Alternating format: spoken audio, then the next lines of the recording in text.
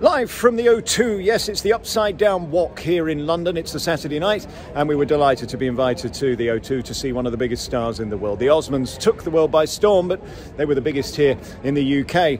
For 18 months, they've not been able to perform, and Merrill Osmond uh, is back doing a show. He's had to go through all the rigmarole of sticking things up his nose and the back of his throat, and after five days in that speedy thing where they can come across, he is the first American star to perform on a British stage, and we were there uh, to see it tonight, which was just an extraordinary event. Incredible light and sound, and a five star star. Uh, a family that have worked their entire lives. I mean, never not been famous, and yet for 18 months have had to sit there staring at the wall. Not a very nice existence for anybody, but uh, most frustrating for those who normally get a warm hand on their opening. Enjoy my backstage exclusive interview with Merrill Osmond here at the O2.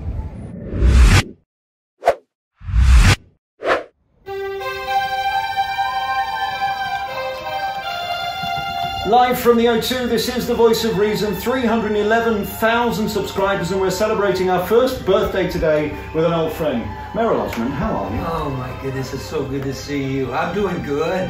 I mean, compared, I guess, to a lot of people, I'm, I'm having a blast.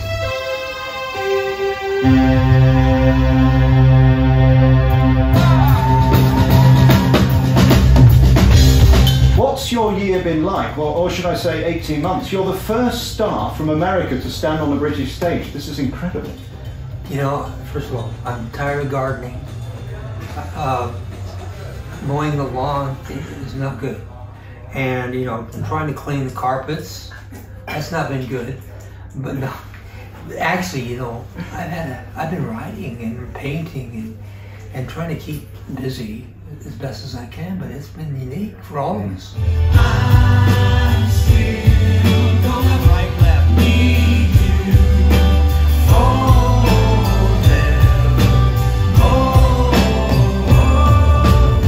Well, you've never not been a star, have you? You can't remember a time when you didn't get a round of applause and you didn't get a standing ovation, and suddenly for 18 months it's just you and the stains on the carpet.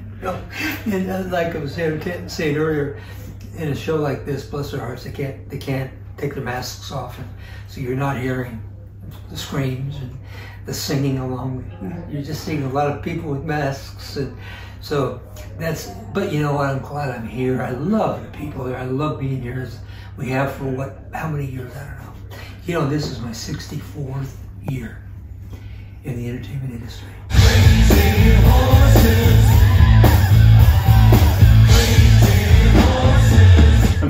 64 years you've been so busy you've never seen your family, so this must be new as well for the last year, getting to, to meet them again. I mean, my wife. I mean, I, I, I didn't realize it. She was so nice. That's right. and not having to stay in hotels, that must have been nice. I mean, there are upsides. You know, those, yes, those no. Caesar salads can get old, can't they? You're getting old. But but I've had a blast, and, all the siblings, uh, we've stayed in touch with each other, and everybody's doing fine. And little Jimmy, bless his heart, I was, I was talking to him the other day. He's doing better every day. Good. And uh, but yeah, it's been it's been fascinating. It's an incredible journey for an Osmond to be around still this long.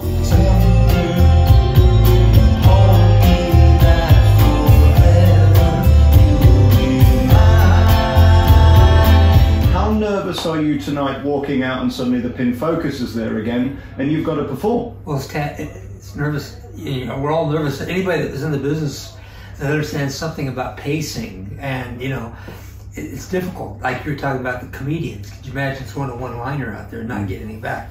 But in this showcase tonight, knowing that we'll just keep the show moving, keep the show moving. Asking a, a question and getting an answer back isn't going to happen. Uh, but at the beginning, I'm gonna when they throw it live to the world, I'm going to share a few little things specifically to my family, siblings, because they're you know not all of them are performing anymore, uh, and uh, but they're watching tonight, so I'll pay tribute to the to the guys.